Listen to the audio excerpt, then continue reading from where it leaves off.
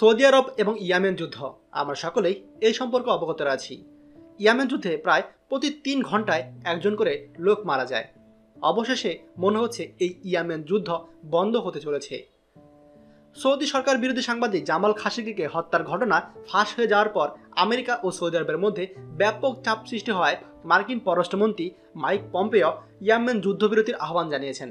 তিনি ইয়ামেনের বিরুদ্ধে সৌদি নেতৃত্বাধীন সামরিক জোটের বিমান হামলা বন্ধ করা এবং হুতি আনসারত যোদ্ধাদের পক্ষ থেকে ক্ষেপণাস্ত্র ও ড্রোন হামলা বন্ধের আহ্বান জানিয়ে আগামী মাস থেকে আলোচনা শুরুর প্রস্তাব দিয়েছেন। এদিকে মার্কিন প্রতিরক্ষা মন্ত্রী জ্যামিস ম্যাথিও ইয়ামেনের যুদ্ধ অবসানের আহ্বান জানিয়ে বলেন, আগামী তিরিশ দিনের মধ্যে শান্তি আলোচনা শুরু করা উচিত।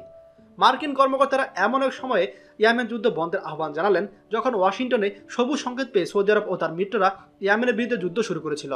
গত চুয়াল্লিশ মাস ধরে চলা যুদ্ধে আমেরিকা, সৌদি আরবকে বিমান ও অস্ত্র দিয়ে সহযোগিতা করে আসছে মার্কিন সিনেটর বার্নি স্যান্ডারাস এই ব্যাপারে বলেছেন, ইয়ামেন যুদ্ধে আমেরিকা জড়িয়ে পড়েছে এবং সৌদি আরবের নেতৃত্বাধীন সামরিক জোটকে আমরা বোমা সরবরাহ করেছি।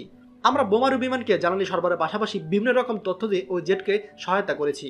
পর্যবেক্ষকরা বলছে, গত চুয়াল্লিশ মাস ধরে সৌদি আরব রক্তক্ষয়ী যুদ্ধ চাপিয়ে দিয়েও ইয়ামেনে তারা কোনো লক্ষ্য অর্জন করতে পারেনি এবং ইয়ামেনেদের প্রতিরোধ যুদ্ধ অব্যাহত রয়েছে।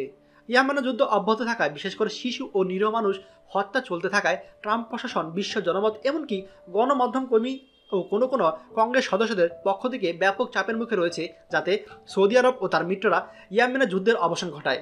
বিশেষ করে সাংবাদিক জামাল খাসিকে নিহত হওয়ার ঘটনায় হাত থাকার কথা সৌদি আরব স্বীকার করার পর ওয়াশিংটন ও সৌদির উপর ব্যাপক চাপ সৃষ্টি হয়েছে।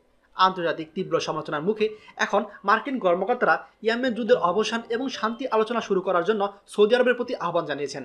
তবে যুদ্ধ অবসানের জন্য সৌদি আরব সংকটে বসবে কিনা তাতে ব্যাপক সন্দেহ রয়েছে। কারণ এর আগেও রাজনৈতিক উপায়ে ইয়ামেন সংকট নিরসনের কথা উঠলেই সৌদি আরব তা সবসময় বিরোধিতা করেছে। ইয়ামেনের আনসারুল্লাহ আন্দোলনের রাজনৈতিক দপ্তরের সদস্য সাইফুল্লাহ আল সামি বলেছে, ইয়ামেনের সৌদি অগ্রাসন বন্ধের জন্য অবশ্যই কার্যকর পদক্ষেপ নিতে হবে। হুতি আন্দোলনের কর্মকর্তারা বহু আগে থেকে বলছে, শান্তি আলোচনায় বসতে তারা প্রস্তুত রয়েছে। একই সাথে তারা ইয়ামেনকে খণ্ড বিখণ্ড করা মার্কিন পরিকল্পনারও তীব্র বিরোধিতা করেছে। যাই হোক, বর্তমানে অবস্থায় যুদ্ধ বন্ধ ও শান্তি আলোচনা শুরু হলেই ইয়ামেনে মানবিক সংকটের অবসান ঘটবে বলে সকলের প্রত্যাশা রয়েছে। আপনাদের কি মনে হয়, সৌদি আরব কি এই শান্তি চুক্তি মেনে নেবে এবং ইয়ামেনে কি দিন শেষে শান্তি ফিরে আসবে? আপনাদের গুরুত্বপূর্ণ মতামত অবশ্যই আমাদের কমেন্টে জানাতে ভুলবেন না। ভিডিওটি গুরুত্বপূর্ণ, তাই সবার সাথে অবশ্যই শেয়ার করবেন। আর আমার চ্যানেলে আপনি আজকে নতুন হলে চ্যানেলটি অবশ্যই সাবস্ক্রাইব করবেন। সৌদি আরবের সকল লেটেস্ট নিউজ আপডেট সবার আগে পাওয়ার জন্য ধন্যবাদ আপনাকে। বাংলাদেশের প্রথম প্রবাসী নির্ভর ভেরিফাইড ইউটিউব চ্যানেল টিজেন টোয়েন্টি ফোর তাই দেরি কিসের? এখনই আমাদেরকে সাবস্ক্রাইব করুন। সাবস্ক্রাইব করতে সাবস্ক্রাইব আইকনে ক্লিক করুন এবং বেল আইকনটি চাপুন, যাতে আমাদের কোনো নতুন ভিডিও আপনি মিস না করুন।